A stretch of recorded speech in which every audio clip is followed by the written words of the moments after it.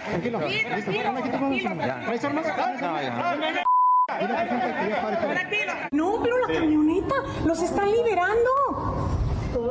Bueno, esto es en Sinaloa. Hoy se cumplen cinco años del Culiacanazo y un grupo de militares y elementos también de la Guardia Nacional detuvieron a Ovidio Guzmán en esa ocasión, el, Chapo Guzmán, el hijo del Chapo Guzmán, y la violencia se desató en la capital. Esto fue hace cinco años. Así que, bueno, pues hoy se desató la violencia y esto, bueno, pues estas imágenes también se dieron durante todo el día. ¿Qué pasó? Pues hubo bloqueos, hubo bloqueos en diferentes partes del estado, en Culiacán particularmente. ¿Qué está pasando por allá? Eh, bueno, pues entiendo que tenemos a nuestro corresponsal Manuel Aceves. Manuel, ¿cómo estás? Efectivamente, Sofi, buenas noches, buenas noches a la audiencia. Este jueves por la tarde, el kilómetro 140 de la autopista Culiacán-Mazatlán se transformó en un escenario de violencia con bloqueos, enfrentamientos que paralizaron el tránsito. Camiones y tractocamiones fueron colocados deliberadamente para obstruir la vialidad, mientras que se escuchaban disparos que sembraron el pánico entre los conductores y transeúntes. En un punto cercano, en la curva que lleva la sindicatura de Costa Rica, elementos de la Guardia Nacional y de la Secretaría de Defensa Nacional localizaron explosivos artesanales similares a proyectiles, lo que incrementó la tensión en la zona y requirió la intervención de unidades especiales para desactivarlos. Por otro lado, en el Guasimal, una comunidad al norte de Culiacán, en la sindicatura de Tepuche, se registró un enfrentamiento armado. Seis civiles fallecieron, fallecieron tras un intercambio de disparos con elementos del ejército mexicano, quienes respondieron una agresión. Las identidades de los fallecidos aún no han sido, no han sido reveladas. Se informó que los civiles fueron quienes iniciaron con este tiroteo contra el personal de la Sedena. Mientras tanto, la Policía Municipal de Culiacán también se ve afectada, ya que eh, una presunta amenaza telefónica provocó la salida de sus instalaciones del personal.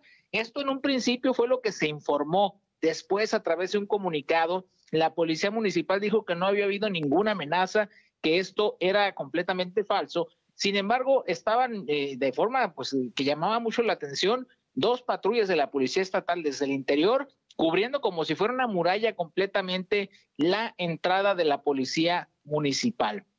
Y bueno, es parte precisamente de estos hechos que todavía durante esta tarde se estuvieron eh, reportando situaciones en el corazón, en la comunidad de Costa Rica, en un ejido.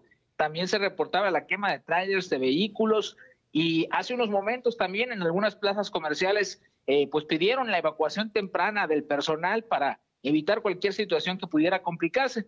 Llama la atención porque no se han presentado situaciones de violencia en el casco urbano de la ciudad, donde de manera muy curiosa y hasta irónica hay un cierre de una vialidad, ya que esta tarde se presenta un concierto cultural, está presentándose un concierto cultural, donde estuvo presente el gobernador Rubén Rocha Moya, quien fue entrevistado sobre este tema y dijo, pues bueno, que se cuiden, que cuiden a los niños y a las familias. Bueno, pues lamentable la situación que se vive allá y después también creo que ya suspendieron clases la universidad, ¿no? Sí, efectivamente, eh, las eh, vuelven a clases en línea como habían estado hasta hace unos días para evitar cualquier situación de riesgo. Eh, pues es una decisión que se toma por, eh, precisamente el miedo que se vive actualmente. Mucha gente en la tarde empezaron a circular mensajes falsos y mucha gente salió de sus centros de trabajo de nuevo y se fue a sus casas para evitar cualquier situación de riesgo, aunque hasta el momento no se han presentado situaciones de violencia durante este día en el casco urbano de la ciudad pues no se minimiza lo que está pasando en la zona rural, que es bastante fuerte, bastante complicado. Y en la noche, pues sí se presentaron hechos de impacto también en la ciudad, eh, donde pues hubo hasta levantones, llegaron a una funeraria, golpearon a una persona, se lo querían llevar, entre otras cosas, Sofía. Pues mal, muy mal. Esperemos que en algún momento vuelva a la normalidad todo y que, bueno, pues el gobernador agarre las riendas de su, de su estado. Gracias, Manuel, y bueno, pues cuídate mucho. Buenas noches, por supuesto que sí. Gracias, cuídate mucho.